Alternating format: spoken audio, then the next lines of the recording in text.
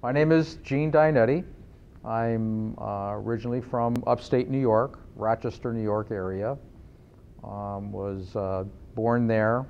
Uh, first few years of my life, uh, we lived in a, a, small community called East Rochester, New York. And when I was seven years old, my parents uh, bought a home and we moved to uh, Fairport, New York, and which is just one town over from East Rochester. And I went through all the school system there in uh, Fairport, graduated from uh, Fairport High School. Went to college, uh, first two years of college, I went to uh, Alfred State College. It was one of the State University of New York campuses. It was a uh, two-year ag and tech uh, university, and that's really what got me started in the, the air conditioning field was uh, when I was 16 years old, my, my father was a partner in a heating and air conditioning uh, contractor company.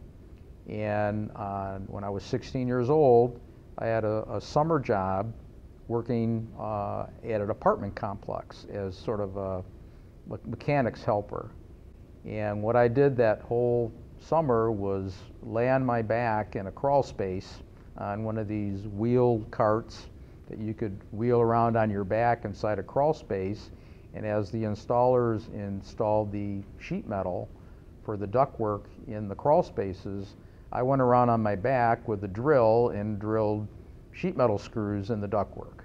So that, that was my summer job, to hold everything together. So, yeah. so that's how I started in the air conditioning heating business was shooting sheet metal screws in, in ductwork when I was 16 years old. We didn't tape any seams. Uh, it was the sort of, uh, you know, the sheet metal and they would uh, dovetail it and they slide it together and then you had to put sheet metal screws to hold it together. So that got me really interested and fascinated with uh, air conditioning uh, systems and, and furnaces. So then uh, my next summer I was able to work a little bit, well, became more involved with the installations, actually helping set the furnaces, uh, run the uh, flue pipes up through the building into the up to the roof. And we also um, ran the refrigerant lines from the the uh, A coils in the furnace out to the condensing units, which were either outside or in some cases they were they were up on the roof. So I got a, a pretty good exposure to what heating and air conditioning systems were all about. So when I was trying to decide what I wanted to go to school for, I mean, I, I always wanted to, to be an engineer, even at a, a very young age, and thought, well, this would be an interesting field to learn about. I certainly didn't want to spend the rest of my life uh, laying on my back shooting sheet metal screws into ductwork, but I thought it would be interesting to go to college for and learn more about uh, air conditioning and refrigeration systems. So uh, Alfred State College had a uh, two-year uh, associate degree program in air conditioning technology. So that was my first two years of college was going to Alfred State uh, and got my associate's degree in air conditioning technology. Not as a technician, no, it was an applied associate in science degree. Um, I, I'm not sure they, they have programs like that anymore, but, but at the time, um, it was, it was uh, one step up, say, from going and, and getting, a, say, an, a, a, a, uh, trade or a, apprentice license to, to, to become, a, say, a, a contractor or a, an air conditioning technician. And I, I just chose the, the, the engineering route versus uh, going into, into the trade. But what it, it taught me at a very young age was that, uh, you know, if you graduate from, from high school and, and you're not going to go to college, then you, you have the, the, the uh, opportunity to, to learn a trade, and, and that was one of the trades that I felt was, was worth was worth pursuing if, if I, the engineering part of it, you know, didn't work out for me. No, it actually was a, a two-year associate in applied science degree that you could either, you know, use that degree, um, or you could go on and, and finish your bachelor of science degree in mechanical engineering. because I was, you know, taking credits towards a actual Bachelor of Science degree. Not at SUNY, because at the time Alfred State was only, it's a four-year university now, but back when I enrolled in, in the campus, it was a two-year ag and tech.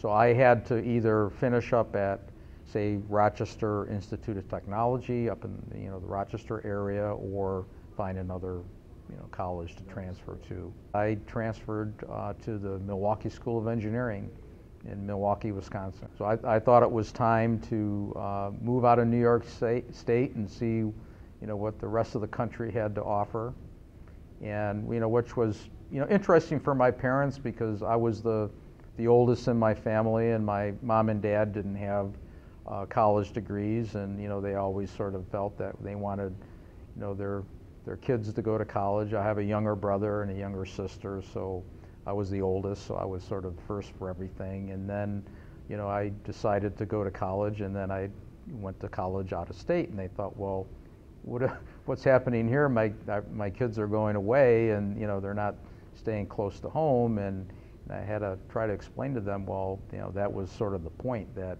if I went and got an education, that that was going to open up more opportunities for me to, you know, to be able to go wherever, say, the opportunities were versus just, you know, staying in the local area. When I graduated with my uh, Bachelor of Science degree, and I got my first job at the Singer Company, the, the Singer Company, the sewing machine company. They had a controls division in Milwaukee, and controls division of the Singer Company made air conditioning components, thermostatic expansion valves, pressure regulators, solenoid valves. So they were a controls company. They made uh, refrigeration products, and they also made uh, timers and um, valves and switches for appliances. So it was an acquisition that they had made um, uh, from a company that was originally formed in Milwaukee called the uh, Controls Company, or Controls Company of America. When I graduated from Milwaukee School of Engineering in 1977, that, that was my, my first job was at the Singer Company Controls Division. Now that, that company originally started in Milwaukee as automatic products.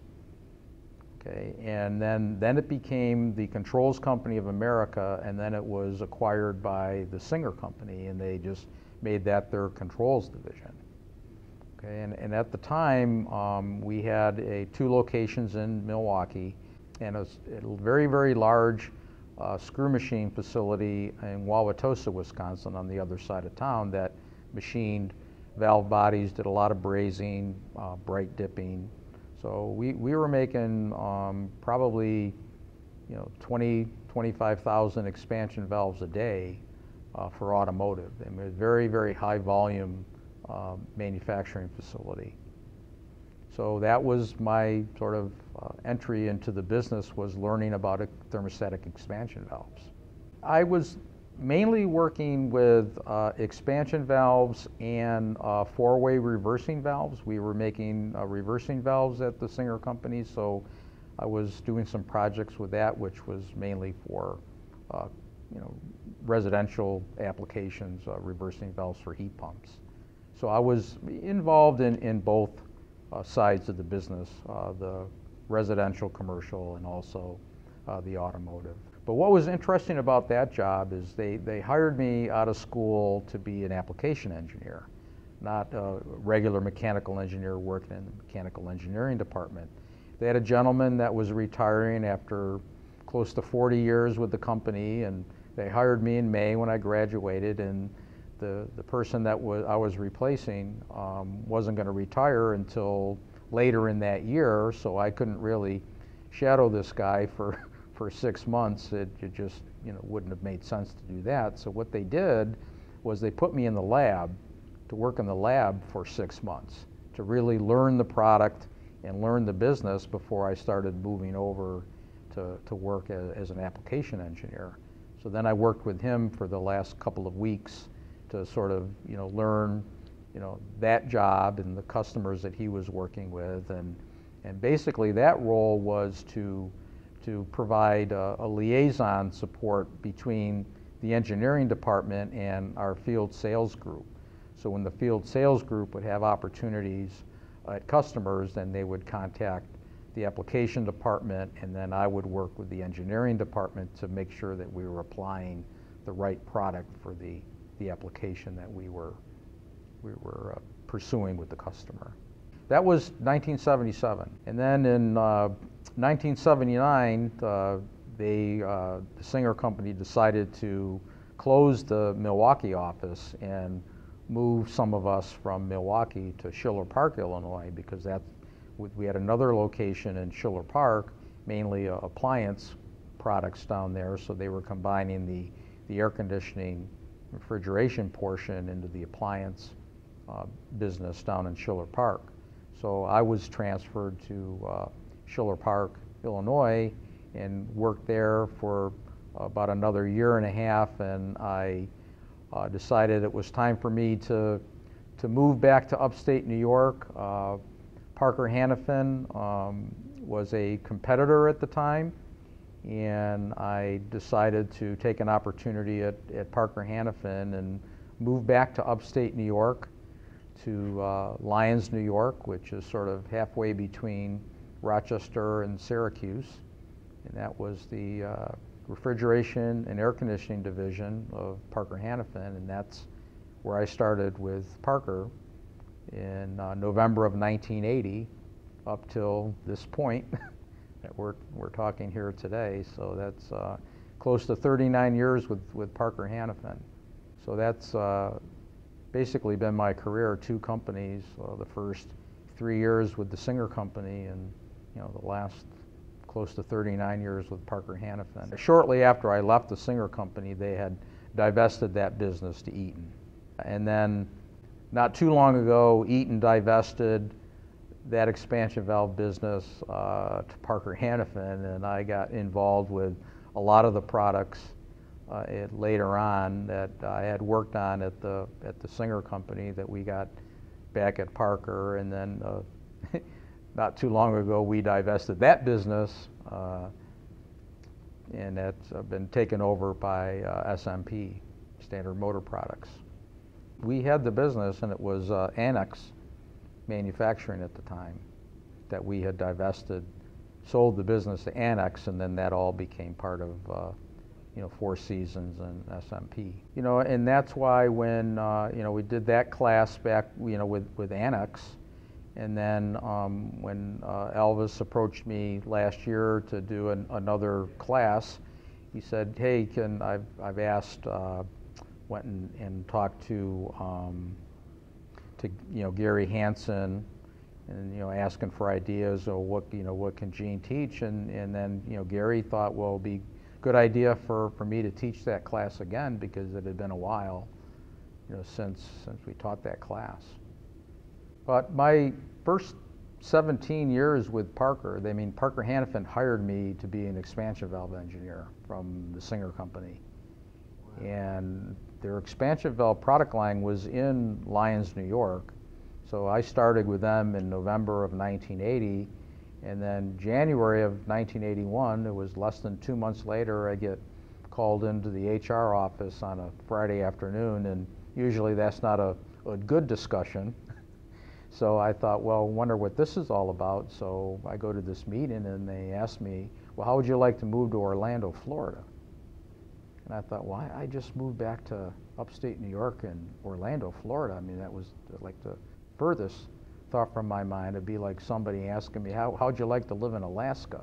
I mean, it's just something you're, you're not expecting. So, so they offered to move me down there because they were moving the product line out of Lyons, New York. There was a facility down there that became available through another acquisition that Parker had made, and they wanted to fill that that operation and, and grow the expansion valve business, put it in a facility to, so it could grow. It was just a, a product line in a very big plant in, uh, in Lyons. So we decided to do that, and so we started that business in 1981 and you know, we grew that business from a very small uh, operation to uh, a, a, whole new facility that we built in Longwood, Florida, just north of Orlando, and we moved it out of the small building that we were in in Winter Park, Florida, which was in the Orlando area, up to Longwood, and we uh, got pretty serious about making expansion valves. So I was at that facility until 1997. So from 1981 to 1977, I worked uh, as Parker Parker's uh, expansion valve engineer and uh, was the engineering manager of the expansion valve facility.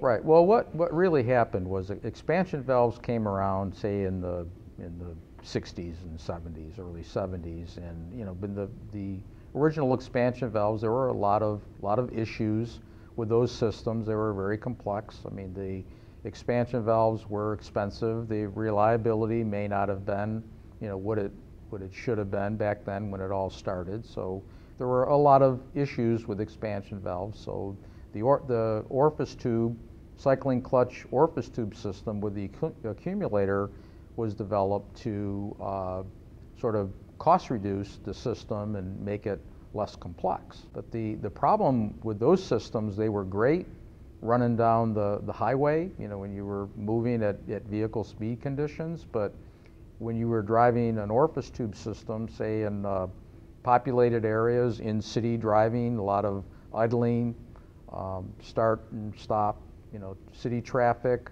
uh, high ambient conditions like Arizona, the, uh, the pressures would, would go up, the, the saturated evaporator temperature would go up, the temperatures would go up, so the systems didn't perform very well in uh, city driving and uh, high ambient or idling conditions. So performance became a problem with the orifice tube systems. Um, then cars started to get smaller. Uh, the condenser got smaller. The everything started to get smaller, and the performance was uh, was compromised. Uh, you know, as the cars got smaller. So then there was a drive to go back to expansion valves because the advantage with the expansion valve system was they performed better during city driving and, and vehicle idling conditions. Yeah, you were controlling superheat to the evaporator. The problem with the orifice tube systems is they would flood. So as, as the evaporators would flood, and that was the purpose of the accumulator, was to protect the compressor. So if you flooded the evaporator, your, your, your saturation temperature would go up and you would lose, you know, air conditioning performance. Your discharge air temperature would increase. Was, yeah, it was to protect the compressor and then to provide the desiccant for the system, space for the desiccant. Yeah, yeah, the, the old, uh, was designed, uh, it was developed by the Controls Company of America, Singer Company. The, they had the original patent on the, the bulbless expansion valve because back, the original valves were the little brass right angle valves. They had capillary tubes and bulbs and you know, they were apt to break and you know, fatigue and there was problems with mounting uh, thermal bulbs. So the, uh, the whole idea of the, the block or the H valve was to eliminate the, the capillary tube in the bulb to make the, the valve uh, more robust. Well, H valves made, made a comeback when the, the drive was to go back to the expansion valve systems because they were, they were easier to, to plumb, you know, with the, the, the plumbing. You know, so the, there was, uh, you know, they, they had uh, the fittings, the seals had, had gotten better. So it was just a, a, lot easier to, to put into, into the vehicle. You didn't have to uh, have threaded fittings. You could, you could uh, make them up with a, a, plate and a bolt. You know, uh, seal washers. You didn't have to mount a, a bulb to a line and try to insulate it or clamp it or put it in the right position. So it just was a, a much more robust application. Well, I mean, there's still application for them. I mean, uh, from, from my experience back when we, we had the product line, they were very popular, say, on uh, dual systems where you had an aux evaporator. So you would package the little uh, brass L valve or right angle valve into the aux evaporator, and then you would have a block or an H valve in the front system.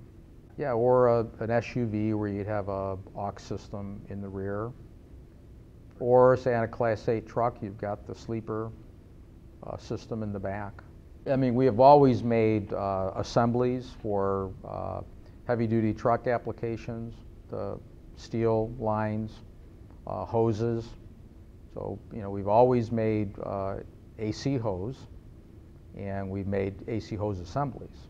So there was that business. Uh, so our, our division was involved in, in the assemblies. Um, the division that I'm with now, Hose Products Division, that we make the, the hose, the air conditioning hose. Um, hose Products makes hose for a lot of different applications, including hydraulic and general purpose hoses and industrial hose. So Hose Products is a very large division, in Parker Hannifin. Um, we make hoses for just about you know every application that you can you know can apply hose to. So just that my corner of the business was the the air conditioning product. So there were the the hose assemblies, uh, accumulators, dryers. We've always been in that business. Just chose to divest the expansion valve portion of the business. Yeah, well, I mean, valves are different than plumbing. I mean, it's you know, Yeah. you, there's plumbing has its challenges. Expansion valves had their challenges, but you know, you would think that well, what could be so complicated about hoses and fittings and plumbing? Well, it, it can be very complicated.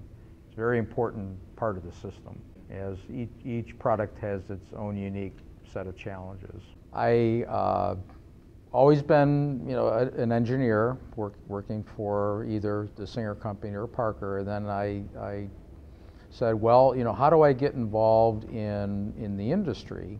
You know, I was, uh, you know, very curious about, you know, the products and, you know, and air conditioning and the systems. But I thought, well, um, you know, what what is the, you know, what does the industry have out there, organizations? I mean, I had heard about you know, SAE and, you know, the uh, mechanical engineering societies and, and this and thought, well, what, what is really out there for, uh, for our industry? So I started going to uh, SAE meetings and I would, would, would go to, say, the, we would have the alternate uh, refrigerant symposiums in, in Phoenix every year, so I started going to that. And here I'm sitting in a, a very big room with a lot of people, and, and I don't really see anyone from my company participating. I mean, it's, it's one thing to go to a meeting and just see what's going on, but you know, are we, are we up there contributing, you know, information and, and teaching and, and explaining, um, you know, what, what our products were all about and, you know, what, what we had to offer the industry. So I started to ask questions and, and, and then I was, was offered the opportunity to, to do a couple presentations at, at these symposiums. So I, I chose, I really chose to get involved because I didn't, I mean, I didn't think it was, it was really all that worthwhile for me to just attend meetings, that it, just made more sense to me to, to get involved and, you know, actively participate not with the with the automotive part. Uh, I originally got involved in ASHRAE. Um, I've been an ASHRAE member for since the 1970s when I graduated school, and I was very actively involved with ASHRAE in the beginning of my career. In fact, they're one of the technical committees, uh, TC 8.8, was the Controls and Accessories Committee. I, I chaired that committee for several years. So that was really the, my first active involvement in, in the industry was through ASHRAE as a, uh, on the technical committees there, but never really was actively involved um, on the automotive side. So then from ASHRAE, uh, the, my responsibility at Parker was taking more of an automotive direction. So then I, I got involved in, in uh, SAE. And uh, my uh, I was actively involved in the, in the Phoenix uh, Alternate Refrigerant Symposium, and then when, we, when uh, SAE started the IMAC um, initiative to improve the mobile air conditioning systems, when we started this whole thing with the, you know, the J2727 and how to rate systems, and so I was actively involved in, in IMAC, and I co-chaired the, the uh, leakage reduction uh, committee within IMAC. Uh, Shotu Patel and I, Shotu Patel was uh, working for Hutchinson at the time. He's been retired for many years now. So uh, Shotu Patel and I uh, co-chaired the leakage reduction Uh, uh, IMAC initiative. So I, I never really was in, involved with, with MACS, but became familiar with MACS through my association with SAE. So since I wanted to actively participate in meetings and, and chair committees and work on standards, and then I started to go to, to MACS meetings and you know got to know uh, Marion and Elvis, and then I was, was asked to, to do presentations at MACS. Yeah, but it's interesting because, I mean, Al Leopold, I, I worked with him, um, you know, for, for many years. Alan was, uh, was involved with him with expansion valves, and I've worked with Gary Hansen in the past. So, I mean, a lot of the people that I've worked with, you know, customers of ours in the industry, that, you know, they were involved in SAE and MACS, So then I thought it was a, you know, good idea for, for me to do the same thing. And that's really probably one of the most rewarding experiences of my career. I mean, I, I did a lot of work at, at Parker. We worked on a lot of interesting uh, projects. I've got uh, a couple of patents on products that I developed at Parker, so it was always fun to invent things and, and help grow the business and um, work on, on interesting projects, but it was you know, very rewarding as well to to take that knowledge and then work with the industry to help um, work on uh, new standards for, for SAE and for ASHRAE at the time, but then also to help you know, teach some of this material to, to the, uh, like the, the MACS members, which you know, were, were sort of, you know, makes me feel good because that's kind of how I feel that I started. Started out as a, a an installer, and, and as I was going to college, I continued to work for an air conditioning contractor in Rochester, New York when I went home for the summers, and, and I worked as a, a service technician, but the, for residential air conditioning. So I had a service truck, and, and I would take service calls to, to work on and fix residential air conditioners. So I've always either either been in this industry as an installer, a technician in my earlier years, and then you know became an engineer and and took that route to, to do more the engineering work, not the the service and technician. But I felt that I I grew up in that industry, so it's always sort of made me feel good to be able to go to MACS and and you know teach what I've learned uh, throughout the years as an engineer to the technicians because I feel that's that's where I started, and I understand, um, you know, what that what that's all about, and and how it how helpful it is to the technicians to to help them understand um, how the systems work and how to troubleshoot them, and you know the things to look for. Well, I have the first patent I got was on an expansion valve. It was on a on a on an H valve, a, a thermal element uh, for an H valve. And then I've got a, another patent uh, on a, a, hose coupling uh, at Parker, and then another patent on a, a, hose that we developed. So I have three, three patents, a couple, a couple other applications that are pending, but, but three patents that have been awarded. One on a hose, one on a hose fitting, and one on an expansion valve. Well, when, when, I was, uh, when I was growing up, going to school, I was in scouting and I went all the way through scouting. I became an Eagle Scout, so you know, always proud of that. That and so and then Eagle Scouting taught me a lot of things, or Scouting taught me a lot of things, and and of which you know a lot of it was community involvement.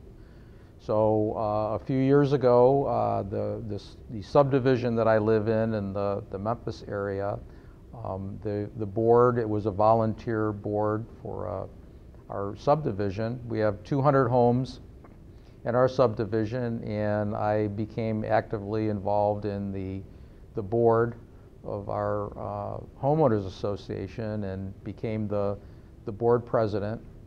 And I felt pretty proud because we, we uh, the previous board sort of, you know, was a, all volunteer and, you know, we all have jobs and families, so it's, it's difficult to, to dedicate a lot of time to the, the homeowners association. But, you know, we were, we were able to, to sort of turn it around and we were, we weren't, uh, our dues weren't very high, so the first thing we did was say, hey, we got to raise the dues and get more money so we can, you know, work on improvements, things that need to be fixed.